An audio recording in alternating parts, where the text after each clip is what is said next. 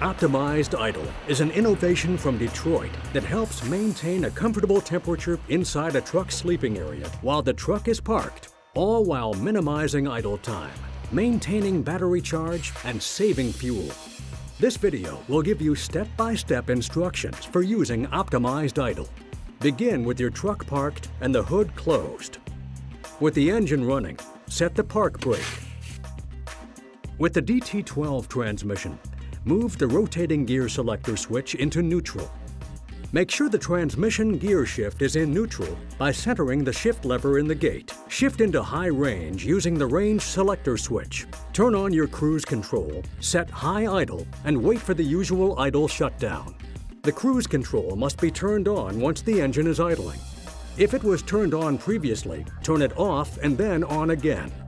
Notice that the idle management light flashes to show that the system is preparing to arm the optimized idle feature. When the engine shuts down, the idle management light stops flashing and stays on.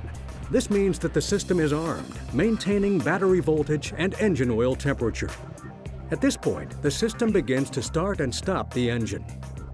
When you're ready to cool the sleeping area, locate the optimized idle thermostat above the bunk's fan controls and turn it on by pressing any key.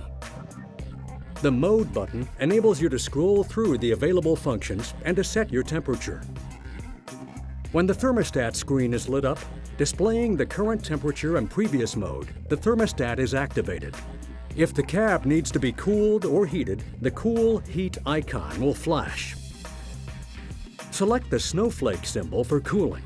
Turn your blower fans on high and the air conditioning system to full cool. Once on, the system will control the HVAC fans.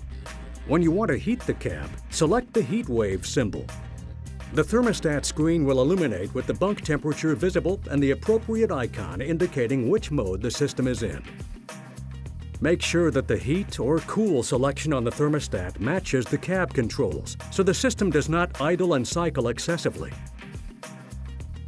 Press the Mode button and hold it to set it at either Fahrenheit or Celsius. Press the up or down arrow buttons to raise or lower the temperature. To turn off thermostat mode and return to engine mode only, press and hold the Mode button for 3 seconds.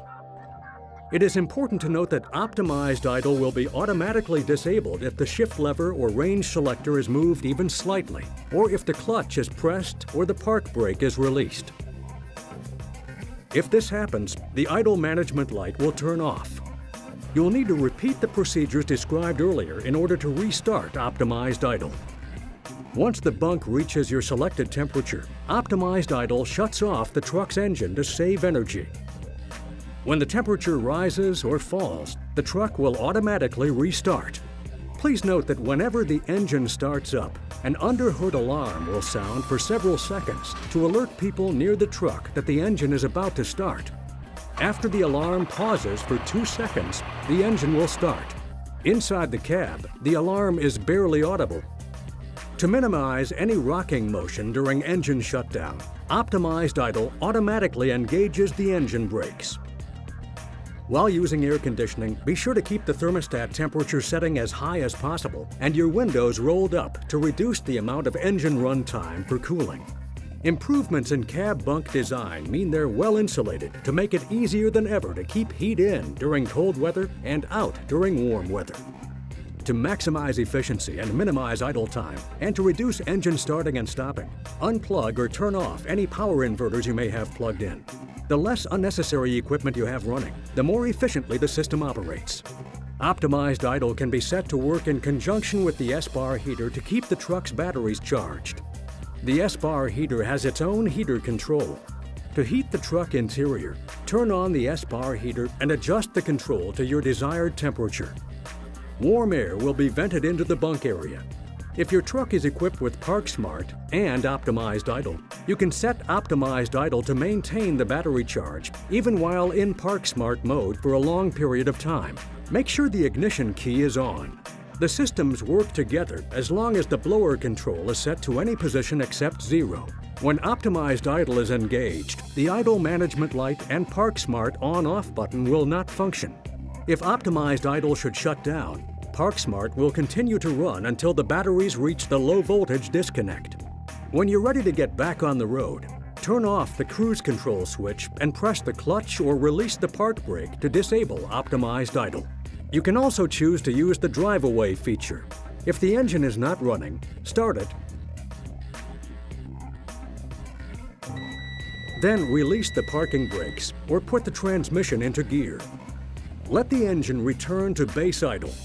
The active idle management light will turn off, indicating that optimized idle is disabled. Besides temperature control, battery charging, and minimized idle time, using optimized idle means that your truck is already warmed up and ready to go. Just push in the clutch and shift into gear. If your optimized idle system ever needs service, any Freightliner dealer or Detroit distributor can make repairs. Now that you know how to operate Detroit Optimized Idle, you can use it whenever you need it to maintain a comfortable temperature, keep your battery charged, and save fuel.